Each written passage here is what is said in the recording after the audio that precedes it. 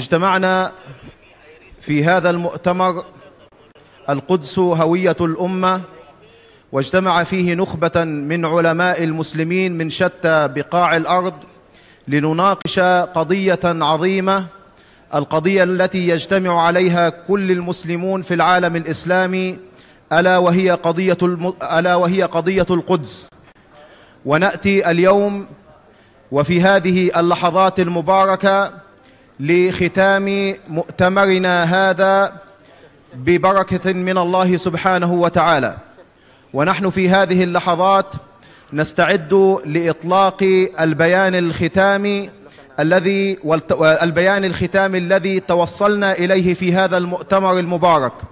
لذلك أيها الإخوة والأخوات الكرام سنتحدث الآن مع مجموعة وسنبقى الآن مع مجموعة من العلماء ليتحدثوا لنا باختصار عن أبرز معالم هذا المؤتمر وعن قضية القدس الشريف. وسنبدأ بإذن الله سبحانه وتعالى بفضيلة الشيخ الدكتور محمد ولد الددو فليتفضل على بركة الله.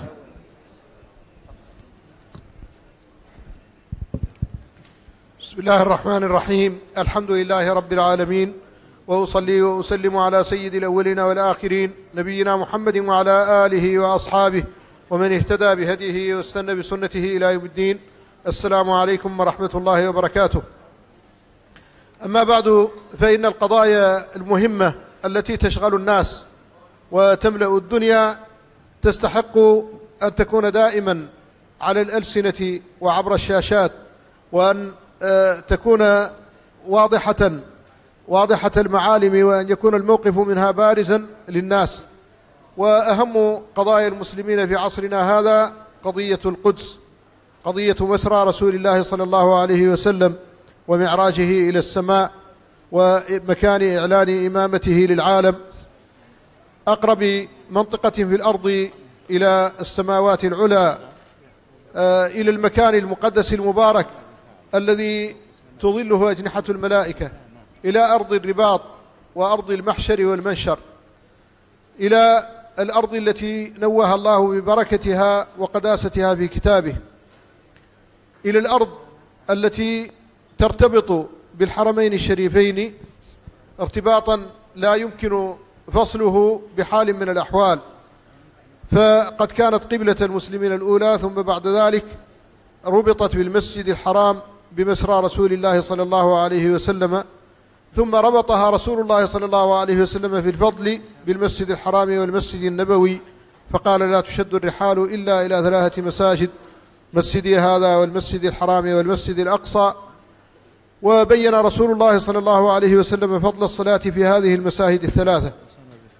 فهذه القضية من المهم أن تعقد لها المؤتمرات وأن يناقش المسلمون حال المسجد الأقصى وأن يطلعوا كبارهم وصغارهم ورجالهم ونساءهم وقادتهم وحكوماتهم على الموقف اللازم منها ولا يمكن أن يتصدى لذلك إلا العلماء والمفكرون الذين يدركون أبعاد الأمور وحقائقها. ولذلك أقيم هذا المؤتمر المبارك في ماليزيا وحضره هذا الجم الغفير من العلماء والمفكرين والمشاركين من مختلف أصقاع الأرض ومن أطياف هذه الأمة كلها واتفقوا جميعا على هذه النقاط التي ستتلى عليكم في البيان الختامي والتي زبدتها تنحصر في توجيه طاقات هذه الأمة إلى تحرير المسجد الأقصى وأنه أولى أولويات المسلمين وأنه يلزم أن تهتم به الحكومات ويلزم يلزم أن تهتم به الشعوب والمؤسسات. ويلزم أن يكون دائما على أجندة كل مؤسسة إسلامية ومنها المجامع العلمية والعلمائية والهيئات الإسلامية كلها على رأس أجندتها قضية المسجد الأقصى وتحريره.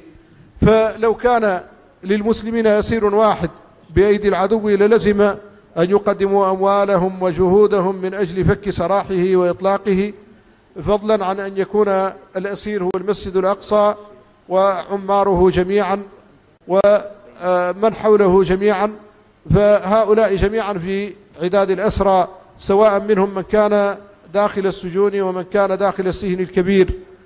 فهم جميعا أسرى ويجب على المسلمين أن يسعوا لتخليصهم. يجب على المسلمين أن يبذلوا كل جهودهم وأن آه، تشارك في ذلك ميزانيات الحكومات. وأن تكون لذلك وزارات في الحكومات وزارات تختص بشأن الأقصى وتحريره ووزارات آه، التعليم أيضا لا بد أن تهتم بهذا المجال وتبيينه حتى تتربى الأجيال عليه. ووزارات الإعلام لا بد أن تهتم به وأن تناصر هذه القضية وتنشرها فهي أمانة في أعناق المسلمين جميعا. وكذلك وزارات الخارجية والدبلوماسية والسفارات لا بد أن يكون لها الدور الضاغط في قضية المسجد الأقصى فهذا أولويتها وواجبها الأول لأنها تمثل الأمة آه، تجاه الآخرين وهي التي تنقل رسالتها وتنقل الرسائل إليها فيجب أن يكون على رأس أجندتها وأولوياتها أن تهتم بقضية تحرير المسجد الأقصى وما حوله. آه، كذلك آه، لا بد من التذكير أن من نتائج هذا المؤتمر البارزة أنه بين أن هذه الأمة تتحد على قضية الأقصى ولا تختلف في ذلك. فتختلف الأمة في كثير من الشؤون الاقتصادية والسياسية والاجتماعية ولكن قضية المسجد الأقصى محل اتفاق بين المسلمين جميعا لا يختلف فيها اثنان على أولويتها ولا يختلف اثنان في وجوب التضحية لها ويجب أن تكون مجالا للتنافس بين البلدان الإسلامية والمؤسسات وأن يتنافس الحكام والحكومات لتقديم كل ما يستطيعونه للمسجد الأقصى وللمرابطين فيه. وتذكير هذه الأمة بأن الرباط من أهم الأعمال التي يتقرب بها إلى الله فإن رسولنا صلى الله عليه وسلم يقول رباط يوم في سبيل الله خير من الدنيا وما فيها. وبالأخص إذا كان هذا الرباط في أهم جهة وهي المسجد الأقصى الذي صلاة واحدة فيه خير من خمسمائة صلاة فيما سواه من المساجد ما سوى المسجدين النبوي والمسجد الحرام. فالرباط فيه قيض الله له المقدسيين الموجودين الآن الذين يقفون في وجه الصهاينة ويمنعون هذا المسجد ويحمونه فيجب على الأمة جميعا أن تتولاهم بالرعاية والعناية وأن تخصص لهم الرواتب حتى يتمكنوا من هذه الرعاية فأقل ما يجزئ الآن في حماية المسجد الأقصى 1500 مرابط بشكل دائم من الرجال والنساء وسيكون أغلبهم من كبار السن. وهؤلاء سيتفردون ويتركون كل أعمالهم لخدمة المسجد الأقصى وحمايته والصلاة فيه وقراءة القرآن والدعاء. وهؤلاء أقل ما يجزئ لواحد منهم تقريبا 1500 دولار شهريا. وليس هذا كثيرا على هذه الأمة فيجب أن تتبادر الحكومات والشعوب والأغنياء لتوفير هذه المبالغ للمرابطين في سبيل الله. وقد نبه الأخ إلى نهاية الوقت فأقول قولي هذا وأستغفر الله لي ولكم. والسلام عليكم ورحمة الله وبركاته. وعليكم السلام ونفضل الآن الشيخ أسامة آه، الرفاعي للحديث. بسم الله الرحمن الرحيم. الحمد لله رب العالمين. وصلى الله وسلم وبارك على سيد الأولين والآخرين سيدنا محمد المبعوث رحمة للعالمين وعلى آله وأصحابه وأتباعه ومن اهتدى بهديه ودعا بدعوته إلى يوم الدين. وبعد. أيها الإخوة الأكارم كثير من المؤتمرات يعقدها المسلمون في مشارق الأرض ومغاربها ثم لا تكون بعد ذلك إلا حركة إعلامية وضجة ينتفع بها الناس ولكن على أرض الواقع لا تنتج شيئا ملموسا يغير حال الأمة وينقلها من حال إلى حال. وهذا ينبغي أن تتخلص المؤتمرات من هذه السلبية. ومؤتمرنا هذا كما بدا لكم أيها الإخوة أنه سينتج عنه مشروع وهذا المشروع إذا دعمناه بكل ما نملك من الطاقات والإمكانيات فإنه هو الأمل في أن يكون الخطوة الأولى في تحرير فلسطين إن شاء الله تعالى. المشروع الذي يوظف طاقات الأمة كل الأمة من أولها إلى آخرها يوظف طاقاتها في خدمة هذه القضية. ويوظف إمكانياتها ويوظف مواهب رجالها ونسائها. المشروع الذي لا يدع فردا من أفراد الأمة التي تتلظى على شوق شديد إلى تحرير المسجد الأقصى. تصوروا أيها الإخوة أن مسلما في الدنيا كلها لا يخلو من, من أن يحدث نفسه. في كل يوم مرة أو أكثر من مرة ماذا أفعل للمسجد الأقصى؟ ماذا أقدم لفلسطين؟ ماذا أقدم لبيت المقدس؟ كل المسلمين يحدثون أنفسهم بهذه المعاني فماذا نقدم لهم من نتائج هذه المؤتمرات؟ إن لم يقم مشروع يحرك الأمة ويضع كل إمكانية في موضعها اللائق وكل موهبة من مواهب المسلمين في مكانها التي الذي يليق بها إن لم تكن المؤتمرات على هذه الشاكلة فلا خير فيها. ولذلك أرجو من الإخوة القائمين على هذا المؤتمر أن يبلوروا هذا المشروع بشكل لائق بقضيتنا قضية فلسطين وبيت المقدس والمسجد الأقصى حتى نحقق أمنية وأمر رسول الله صلى الله عليه وسلم الجسد الواحد الذي إذا اشتكى منه عضو تداعى له سائر الجسد بالحمى والسهر. أسأل الله أن يجعلنا كذلك جميعا. إنه سميع قريب مجيب. وصلى الله على سيدنا محمد وعلى آله وصحبه وسلم. جزاكم الله خيرا. ونفتح المجال للشيخ أحمد عمري. بسم الله الرحمن الرحيم. الحمد لله والصلاة والسلام على رسول الله وعلى آله وصحبه ومن والاه. الذين يبلغون رسالات الله ويخشونه ولا يخشون احدا إلا الله وكفى بالله حسيبا. نحمد الله تبارك وتعالى أن وفقنا في هذا المؤتمر في هذا البلد الطيب الكريم العزيز ماليزيا بقيادتها الطيبة حكومة وشعبا. ورأينا هذا التفاعل الطيب مع هذه القضية المقدسة. أيها الأحبة الكرام رسالتنا هي إلى العلماء جميعا أن نقيم اللجان المتخصصة في أقطارنا العربية والإسلامية دعما لهذه القضية المقدسة. وننطلق من خلال آه، الخطى السديدة التي رسمها لنا القرآن الكريم. إن هذا القرآن يهدي للتي هي أقوم. وليس عبثا أن تأتي هذه الآيات القرآنية في صدر سورة الإسراء. سبحان الذي أسرى بعبده ليلا من المسجد الحرام إلى المسجد الأقصى. الذي باركنا حوله لنريه من آياتنا إنه هو السميع البصير. أيها الأحبة الكرام من هذا المؤتمر أقول لا مؤتمر لا مؤتمر في القدس قد نطق الحجر أنا لا أريد سوى عمر.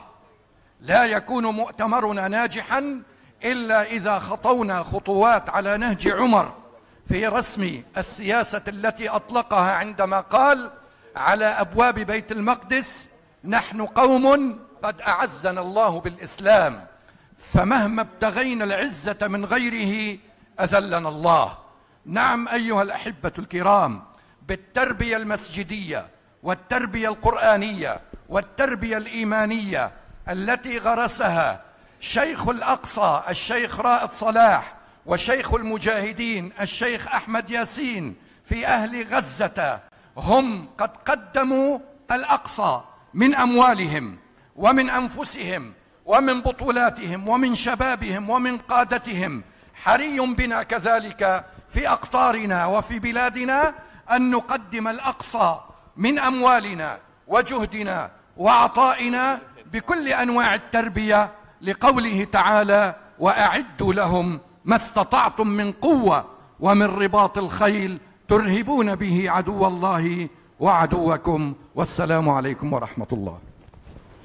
وعليكم السلام ومعنا الآن الدكتور ذو الكفل تفضل السلام عليكم ورحمة الله وبركاته.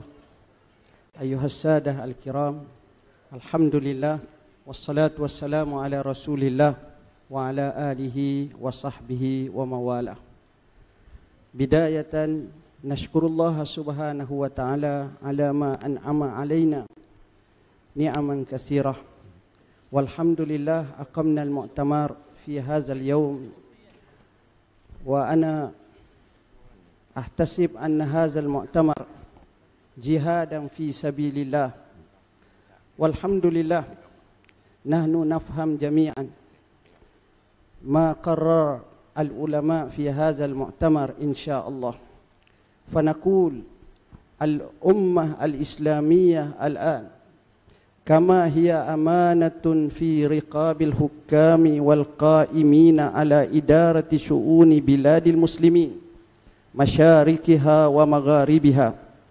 فهي كذلك أمانة أعظم أثرا ورتبة في رقاب العلماء.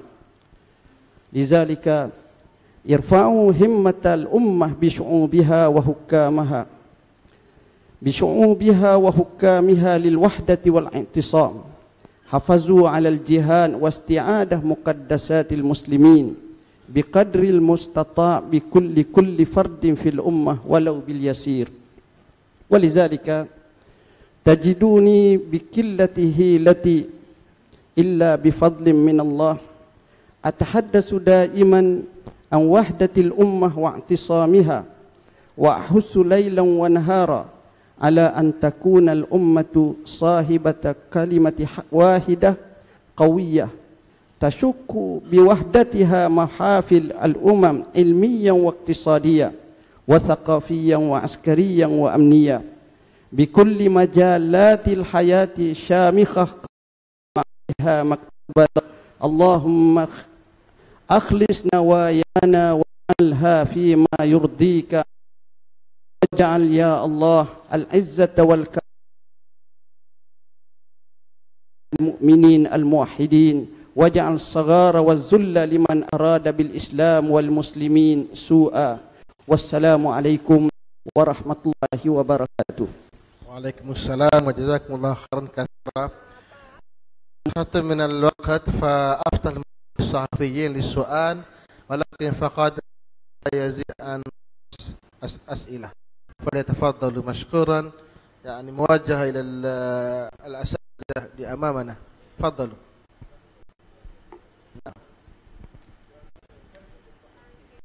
kita berpeluang untuk uh, tetapi tak lebih lima soalan saja ditujukan kepada uh, para alim ulama kita di sini dan jika perlu saya akan terjemahkan ke dalam bahasa Melayu. Silakan.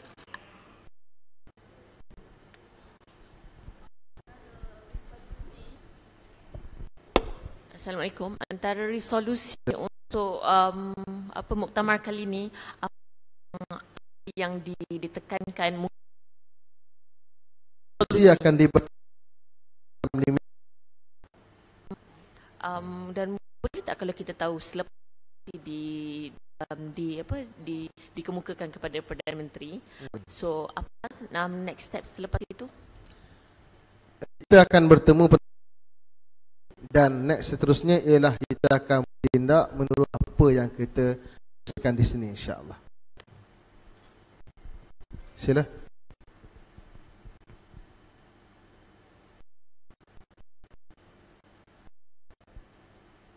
Salah, selalu banyak soalan. Pertawan.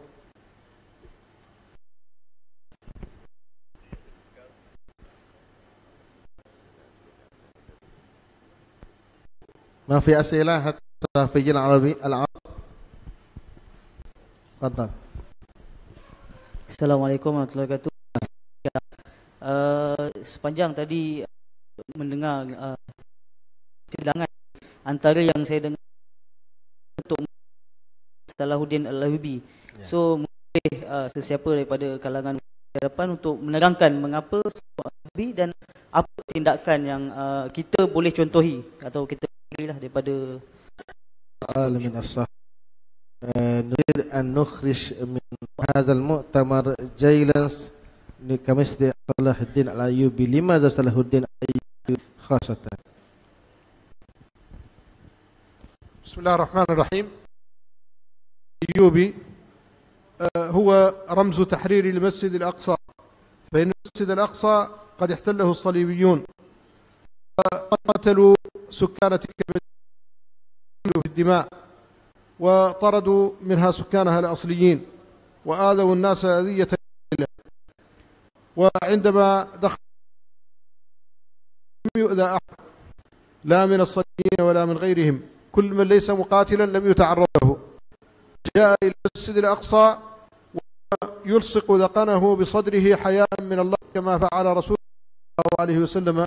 يوم فتح مكة وجاء آه، إلى المسجد الأقصى لتطهيره وتدريره وإعادته إلى أهله دون لأحد لم يقع أي ظلم على أحد من الناس عند تحرير المسجد الأقصى. لم ترق الدماء إنما قتل وطهر المسجد الأقصى. هذا الذي جعل صلاح الدين رمزا. لهذه الأمة وللجهاد في لا يذكر المسجد الأقصى منذ ذلك الوقت لا ذكر إلى جانب صلاح قد عرف في زمانه بعنايته وأهله حتى العلماء في زمانه كانوا يتقربون منه وهو كان من أهل العلم وأبوه كان من العلماء رباه على العلم. محمد بن مالك في مقدمة كتابه الإعلام بتثليث الكلام يقول إلى صلاح كما يشاء من مبتغى منه علاني ليس لسودد تعيين إلا لقرب منه وانتساب. لجأت له الملوك الصيد طوعا وكرها هم له يفيد إذ ليس عنه لهم محيد. الخلق بالعقاب. لما علمت أنه ذو أربي إلى اتساع في كلام العرب أردت أن أجعل بعض قربي له كتابا فيه ذا اكتساب أحوي به أكثر وحلمت وحلمت وحلم فحوز هذا الفن محمود أولو الألباب شكرا على إجابة الشيخ uh, saya jawapan pada apa yang Syekh bagi. Uh, Salahuddin adalah lambang kepada Palestin. Tapi Salahuddin daripada penduduk Palestin. Memberi isyarat kepada kita bahawa bumi Al-Aqsa akan dibebaskan oleh bukan hanya orang Arab tetapi oleh mereka pada bumi Palestin itu sendiri. Allah. Fadalu. Ada lagi soalan? Sila. السلام السلام عليكم الآن من أراد هذه الأمة من آه، ملوكها ورؤساء ورؤساء حكوماتها وقادة جيوشها أن يذكر ذكرا دائما وأن يدعى له دائما عليه أن يقتفي آثار من سعى الآن لتطهير المسجد الأقصى لن ينساه المسلمون أبدا. وسيدعو المسلمون على المنابر يدعون لله الدين ويذكرونه في كتبهم وتآليفهم. والناس يتسابقون الآن لذكر والشهرة فليكن هذا ميدان التنافس والمسابقة. Saya tak terjemah. Kata Syekh uh, seperti mana Salahuddin disebut sehingga ke hari ini? Maka sepatutnya para pemerintah umat yang berebut Al-Aqsa agar disebut sampai hari kiamat insya-Allah. Assalamualaikum. Uh, sekejap lagi uh, resolusi akan dibacakan. Ya, ya. Jadi kita nak ulama-ulama kita lah apa harapan mereka dengan resolusi yang mungkin akan dibuat uh, dapat membantu rakyat Palestin sampai sini khususnya menekan uh, pihak untuk ni harap pada harapan daripada lah daripada mereka semua uh, selepas uh. daripada resolusi yang dibuatkan siap lagi lah resolusi uh. adalah harapan kami jadi apa yang akan dibacakan itu adalah harapan kami para alim ulama khususnya untuk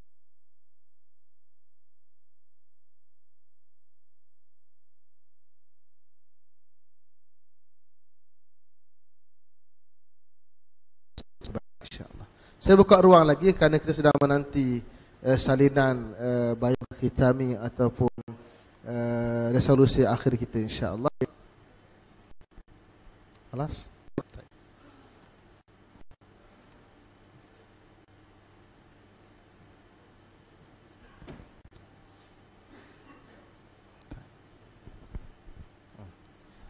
Bismillahirrahmanirrahim. Huwiyatul ummah Al-Bayan Khitami li Mu'tamar Al-Quds huwiyatul ummah المنعقد في فندق فولمان بوتراجايا لكسايد في مدينة بوتراجايا الإدارية. بالقرب من العاصمة الماليزية كوالالمبور على مدار يومي السبت والأحد العاشر والحادي عشر جماد الأول من عام 1439 الموافق السابع والعشرين والثامن والعشرين يناير 2018 الحمد لله رب العالمين والعاقبة للمتقين ولا عدوان إلا على الظالمين. والصلاة والسلام على سيدنا محمد إمام المجاهدين وعلى آله الطيبين الطاهرين وأصحابه أجمعين ومن تبعهم بإحسان إلى يوم الدين وبعد. فقد أقدت كل من مؤسسة ماي أقصى والاتحاد العالمي لعلماء المسلمين. وهيئة علماء فلسطين في الخارج مؤتمر القدس هوية الأمة في مدينة بوتراجايا في ماليزيا برعاية كريمة من معالي داتو سري محمد نجيب بن تون عبد الرزاق رئيس الوزراء الماليزي. على مدار يومي السبت والأحد بالتاريخ المذكور أعلاه وقد تضمن الأمة الإسلامية جميعا وسياسيين وأصحاب القرار إلى تبنيه والالتزام به مرجعية فكرية وثقافية وتربوية. ويدعون إلى تشكيل لجان لجان مقاطعة التطبيع وتفعيلها في مختلف دول العالم الإسلامي.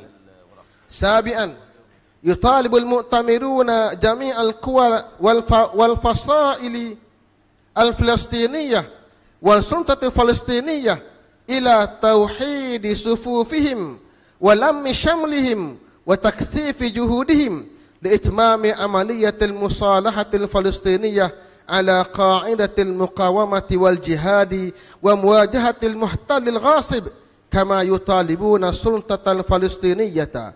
بوقف أشكال التواصل والتنسيق مع الكيان الصهيوني والإدارة الأمريكية. ثامنا يدعو المؤتمرون الأمة الإسلامية إلى الوحدة فيما بينها وتعزيز العلاقات التجارية والاقتصادية وتبني الدعم الكامل لبيت المقدس وأهلها المرابطين حول الأقصى الذين هم حاضنة بيت المقدس والمسجد الأقصى.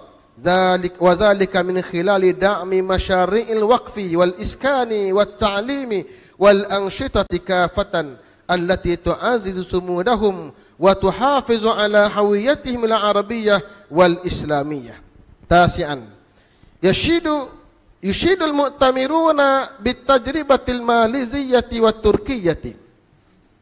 في مبادرة التوأمة بين المؤسسات المقدسية ومسيلاتها في هذين البلدين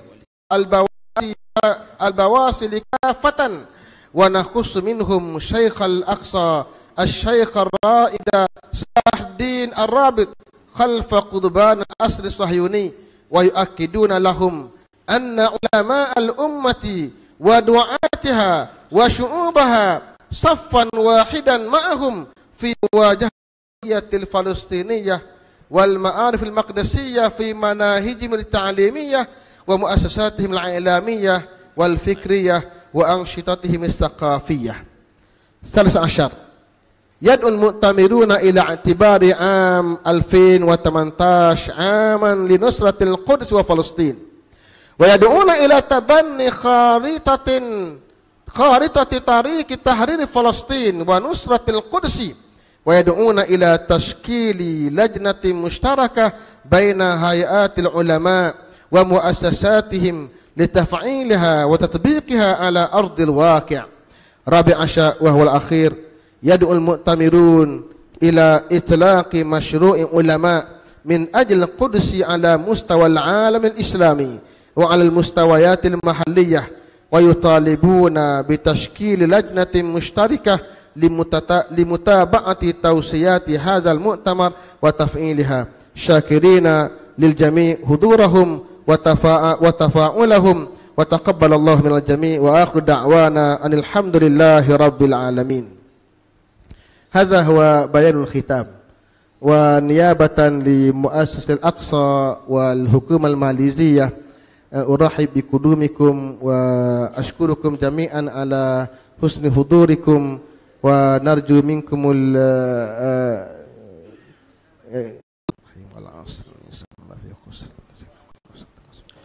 السلام عليكم ورحمة الله تعالى وبركاته.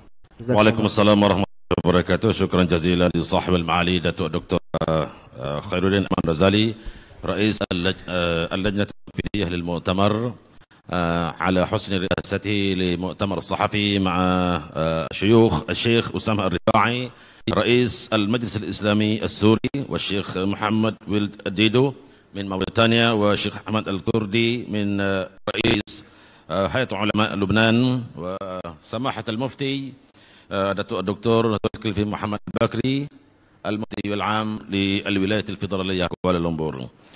وشكرا جزيلا نيابة عن اللجنة التنفيذية للمؤتمر. ونطلب من فضيلتكم سيادتكم أن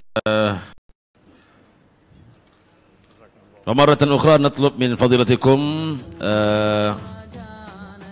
أن تغادروا الآن إلى الأوتوبيس دون العودة إلى الغرف. وشكرا والسلام عليكم ورحمة الله وبركاته.